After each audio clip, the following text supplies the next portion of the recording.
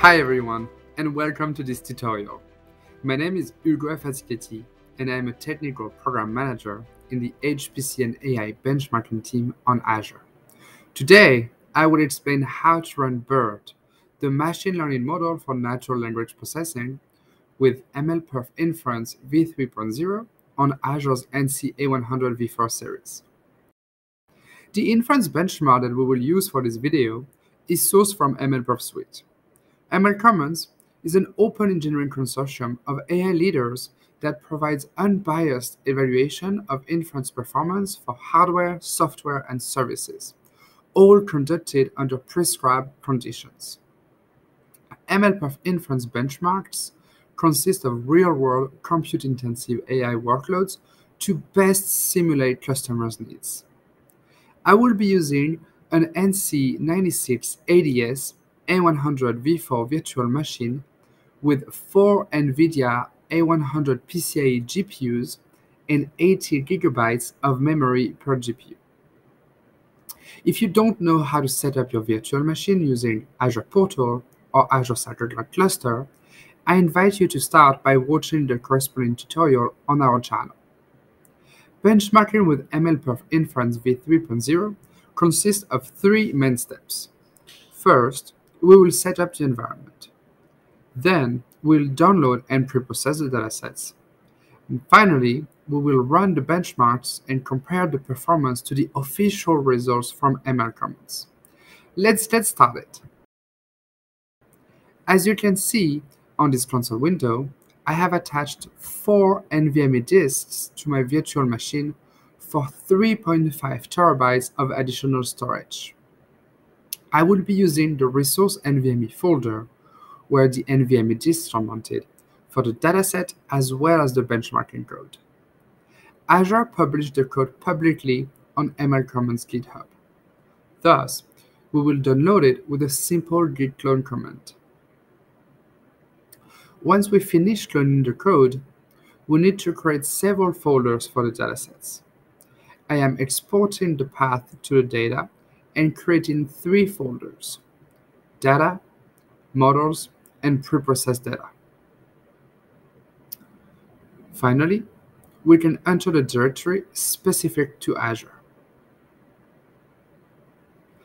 The environment is now ready for the second step. This step consists of downloading the datasets and the models, as well as preprocessing the data. First, we must start the container with the make prebuild command. This step is expected to take up to 10 minutes the first time it runs, but it will be instantaneous every time after. If you were to exit the container, you must export the path to the directory before you run the make prebuild command again. Once inside the container, you can download the dataset for the benchmark BERT with the following command. You use the same command and replace BERT by RetinaNet, ResNet50, 3D U-Net, RNN-T, or DLRM if you want to run any other benchmarks of the suite. Then you will reproduce these steps with make download model to download the model and make preprocessed data to preprocess the dataset.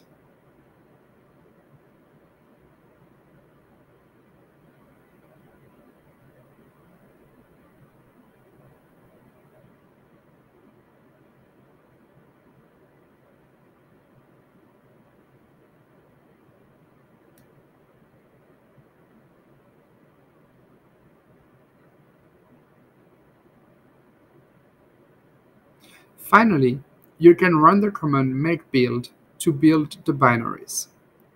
This command sets the links to your datasets, models, and preprocessed datasets, as well as building the necessary binaries for your virtual machine.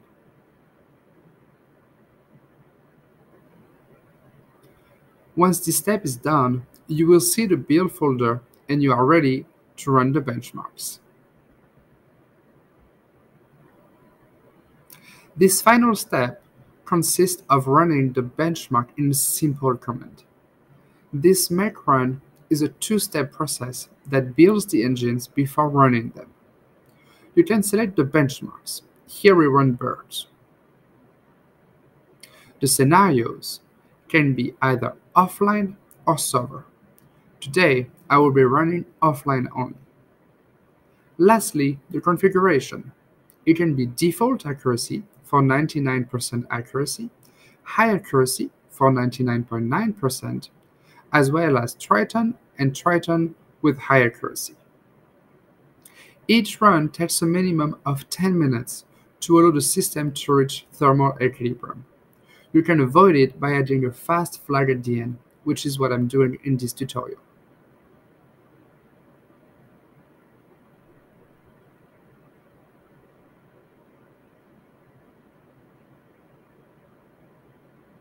Lastly, your result is considered correct only if you see the mention valid. Together, we obtained a result of 12,508 samples per second for BERT offline default accuracy. You can compare your results to the official results published by Azure on the ML Commons website. You can find results for Azure for all the benchmarks and for all previous versions of MLPerf inference and training. For example, the official results that we published in April 2023 was 12,455 samples per second for BERT offline default accuracy. You have now successfully run the natural language model BERT of MLPerf Inference v3.0 on Azure. We hope you find this content useful and don't hesitate to follow this channel for more content on how to use Microsoft's HPC and AI offerings. Have a good one!